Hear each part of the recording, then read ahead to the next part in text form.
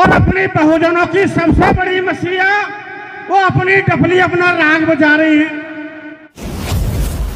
तो हमारे बहुजन समाज के मक्कार, धोखेबाज, दगाबाज, जो नेता लोग बने हुए हैं, और अपने को ये कहते हैं कि हम बहुजनों के लीडरान हैं, सबसे ज़्यादा नालायक वो लोग हैं। अब बहुजनों के नेता वहाँ क्या कर रहे हैं नालायक लोग? चाहे वो लालू का लड़का हो चाहे वो नीतीश कुमार हो, चाहे पासवान का लड़का हो, चाहे उपेंद्र कुशवाहा हो, चाहे मांझी हो, चाहे वो साहनी हो और कांग्रेस का हुक्का भरने में लगे हुए हैं। क्या इससे बहुजन समाज का कल्याण होगा? मोदी को हटाना है और राहुल को बनाना है। भाई, राहुल हमारा रिश्तेदार है क्या? जितने भी बहुजन लीडर हैं राहुल की बात कर रहे हैं। भाई, स्टोलिन क्यों नहीं बन सकता? हेमंत सोरेन क्यों नहीं बन सकता? बहन जी क्यों नहीं बन सकती? खड़गे साहब क्यों नहीं बन सकते? और बहुजन लीडर क्यों नहीं बन सकता? लेकिन बहुजनों के लीडर ही बेवकूफ़ हैं। बहुजन हिताय, बहुजन सुखाय का आंदोलन, ये बहन जी का और काशीराम का नहीं है।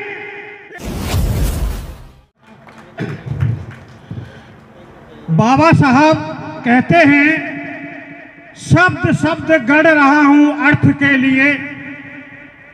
शब्द शब्द गढ़ रहा हूँ अर्थ के लिए।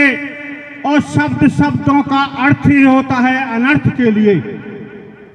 हमें कौन सी बात कहाँ कहनी है और कहाँ नहीं कहनी, इसका हमें बोध होना चाहिए। ये प्रोग्राम हर वर्ष होता है। बहुजन स्वाभिमान संघ के बैनर तले मुझे बहुत खुशी होती है। और मैं इस बहुजन समाज संघ का आजीवन मेंबर भी हूँ। मैं एक बात काफ़ी देर से सुन रहा हूँ कि हम लोग पढ़े लिखे लोग नहीं हैं। हमको पढ़ना चाहिए, हमको जज कलेक्टर बनना चाहिए, हमको आईपीएस एडवोकेट प्रोफेसर बनना चाहिए। क्या 1950 के बाद जब से भारतीय संविधान लागू हुआ है क्या हमारे समाज में लोग पढ़े लिखे लोग नहीं हुए? हर साल यूपीएससी की वैकेंसी निकलती है आईएएस बनते हैं जज कलेक्टर बनते हैं प्रोफेसर बनते हैं। क्या वो वास्तविक बहुजनों के कल्याण में, बहुजनों के हित में कोई काम कर रहे हैं? ये बड़ा चिंता का विषय है। सम्मान उसको मिलता है जो समाज के जन कल्याण के लिए काम करता है, इस धरती पर सम्राट गौतम बुद्धा ने त्याग किया, उनको पूरा वर्ल्ड नमन करता है। ग्रेटता सम्राट अशोक ने त्याग किया, उनको पूरा विश्व नमन करता है। ज्योतिबा फुले जी ने त्याग किया दोनों मियाँ बीवी ने मिलकर इस समाज को जगाने के लिए क्या किया? उनको सम्मान की नज़रों से देखा जाता है। मानवर काशीराम साहब ने अच्छी नौकरी करते हुए भी त्याग किया? इसलिए बहुजन समाज उनको बंधन अभिनंदन करता है। जो हमारे बहुजन समाज के मक्कार धोखेबाज दगाबाज, जो नेता लोग बने हुए हैं और अपने को ये कहते हैं कि हम बहुजनों के लीडरान हैं। सबसे ज़्यादा नालायक वो लोग हैं। मैं आपको एक अभी ताज़ा उदाहरण देता हूँ। अभी बिहार में जनगणना का सर्वे हुआ है। अपनी आँख भी खोल लेना, दिल भी खोल लेना, दिमाग भी खोल लेना। और उस सर्वे में यह आया है कि तिलक तराजू और तलवार वाले लोग 10 परसेंट से कम है। कितने 10 परसेंट से कम है। और साढ़े बानवे परसेंट बहुजनों की आबादी है। अब बहुजनों के नेता वहाँ क्या कर रहे हैं नालायक लोग? चाहे वो लालू का लड़का हो, चाहे वो नीतीश कुमार हो, चाहे पासवान का लड़का हो, चाहे उपेंद्र कुशवाहा हो, चाहे मांझी हो, चाहे वो साहनी हो। और कांग्रेस का हुक्का भरने में लगे हुए हैं।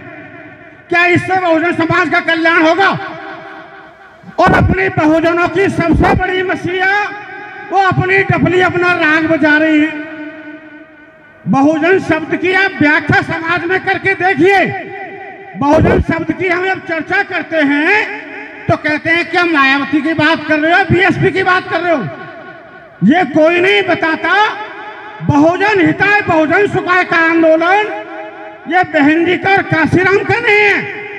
ये महामानव तथा गौतम बुद्ध का है। बहुजन हिताय, बहुजन सुखाय लोकान कंपाय। क्या हम लोग बहुजन समाज बनाने के लिए काम करते हैं? अपने पड़ोसी के साथ समता का, ममता का, बंधुता का, भाईचारे का, प्रेम का माहौल बनाते हैं। कैसे बनेगा बहुजन समाज? आप अपनी जाति में घमंड करते हैं, अपनी जातियों में अपनी बेटी के लिए रिश्ता ढूंढते हैं और बात बहुजन समाज की करते हैं। जब तक बहुजन समाज में दिल और दिमाग से, मन और मस्तक से खान पीन में रीति रिवाज में रहन सहन में भाईचारा नहीं होगा, तब तक कुछ बात बनने वाली नहीं है। मेरे साथियों इस प्रोग्राम में हर साल काफ़ी रुपया बर्बाद होता है। अभी मैं हैंडबिल देख रहा था यह कोऑपरेटिव सोसाइटी का। हमारे समाज के लोग लाख, दो लाख रुपए भी लेकर के बेईमान हो जाते हैं डिफोल्डर हो जाते हैं। भाई, कैसे बिज़नेस को बढ़ाओगे? बड़ा गंभीर विषय है। मैं किसी को दस, पाँच हज़ार रुपए दे दूँ तो सामने वाला लेकर के बेईमानी करने की पहले सोच लेता है। तो मैं इस सोसाइटी वालों से हाथ जोड़ करके निवेदन करना चाहूँगा। जो इस सोसाइटी का सबसे ऑनेस्ट सबसे बढ़िया अदाकारी जो बंदा हो, वो बहुजन समाज में एक परचूनी की दुकान खोले और बहुजन हित में कम प्रॉफिट पर बहुजनों की सेवा के, सेवा की जाए। तब इस बहुजन समाज में कुछ बिज़नेस की तरफ़ आकर्षित होगा। और बात तो बहुत करनी है, लेकिन मैं अपनी बात को शॉर्ट में कर देता हूँ। क्योंकि बाबा साहब ने हमें सब कुछ दिया है। बाबा साहब कह रहे हैं, इशारा करके सत्ता के मंदिर पर कब्जा करो। और हम लोग भगवान के मंदिर पर कब्जा करने की सोच रहे हैं। बुद्धा कहता है, भगवान नहीं है। बाबा साहब कह के गए, भगवान नहीं है। अरे, हमें उस भगवान के मंदिर से क्या लेना देना? यदि आप वोट की ताकत को पहचान लोगे, और हमारे जैसे क्रांतिकारी बंदे की सरकार बनेगी, चाहे मंदिर हो, चाहे मस्जिद हो, चाहे गुरुद्वारा हो, चाहे चर्च हो, चाहे बौद्ध विहार हो, चाहे कोई भी धार्मिक स्थल हो यदि हमारी पावर होगी।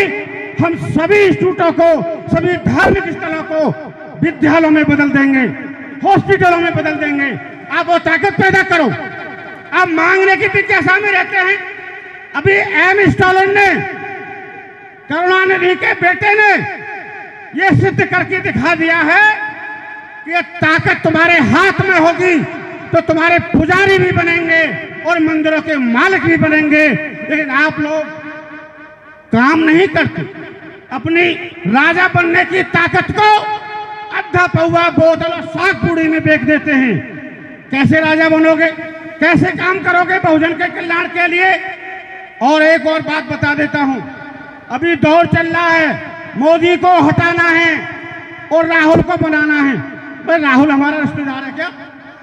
जितने भी बहुजन लीडर हैं, राहुल की बात कर रहे हैं। भाई, स्टोलिन क्यों नहीं बन सकता?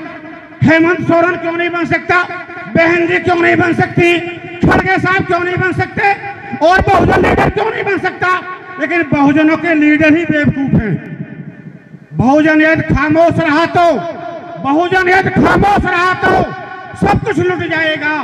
रोते रहना और पछताना, हाथ नहीं कुछ आएगा। सांप ना तो नागनाथ, अजगर बिस्तर भारी है।